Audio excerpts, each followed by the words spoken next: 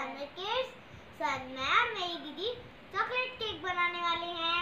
सबको हैप्पी गुरु नानक जयंती। सो आज हमारे पास बहुत सारे इंग्रेडिएंट्स हैं तो सबसे पहले ये मिल्क है oil cocoa powder powder sugar मैदा। मैदा।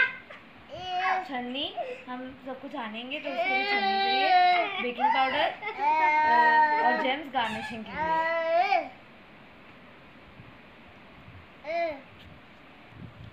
सो फ्रेंड्स अभी मैं हम मैदा कोको पाउडर और बेकिंग पाउडर को साथ में इसमें छानेंगे और उसे अच्छे से साथ में मिलाएँगे। तो फ्रेंड्स मैंने यहाँ पर एक कटोरी मैदा और बेकिंग पाउडर आधा चम्मच और उसके साथ कोको पाउडर 50 ग्राम मिला लिया साथ में अच्छे से। आप देख सकते हैं। मैंने इन तीनों को अच्छे से मिला लिया है।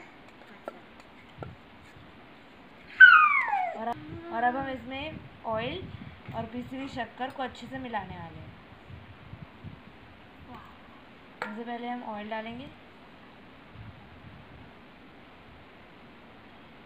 तो फ्रेंड्स जैसे हमने मैदा कोको पाउडर और बेकिंग पाउडर को साथ में छान के अच्छे से इसमें डाला था और मिक्स किया था।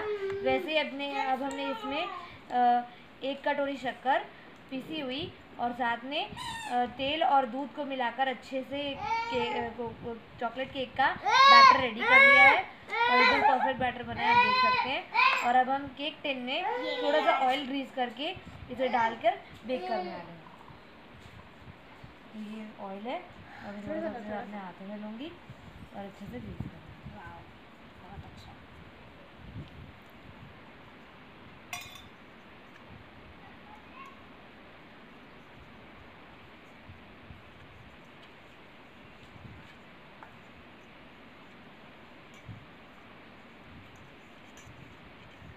ये मैंने अच्छे से ऑयल ग्रीस कर दिया है और इसमें केक का बैटर डालने वाले हैं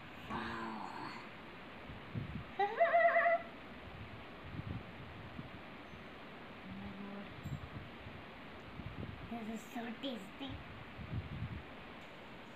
So guys अब हमने अपना टिन में अपना सारा बैटर डाल लिया और हम इसे थोड़ा सा टैप करके लेके जाने वाले हैं बेक करने अपने किचन में। चलो चले हमारे किचन में और अपना नया चॉकलेट केक बेक करने। सो गाइस ये मैंने अपना पतीला ऑलरेडी प्री हीट कर दिया इसमें नमक और ये स्टैंड रखा है जिसके ऊपर मैं अपना केक का टिन रखने वाली हूँ। और ये रहा मेरा केक और अब मैं इसे धीरे से अंदर रखूँगी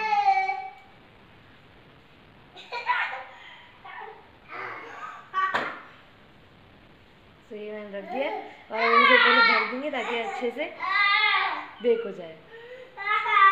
तो ये अब मैं इसे रख दूँगी और इसे ऐसे ही छोड़ देंगे कुछ समय के लिए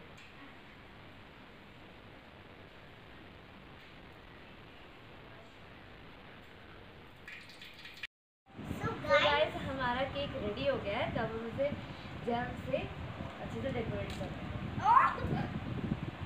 और छोड़ दीजिए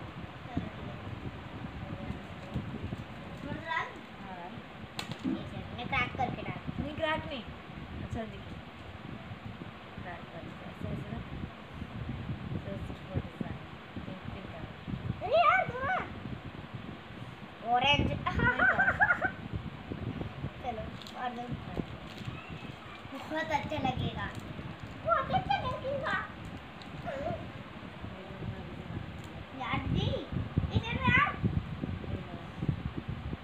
कहाँ गया है उसके ये और है है है निकल निकल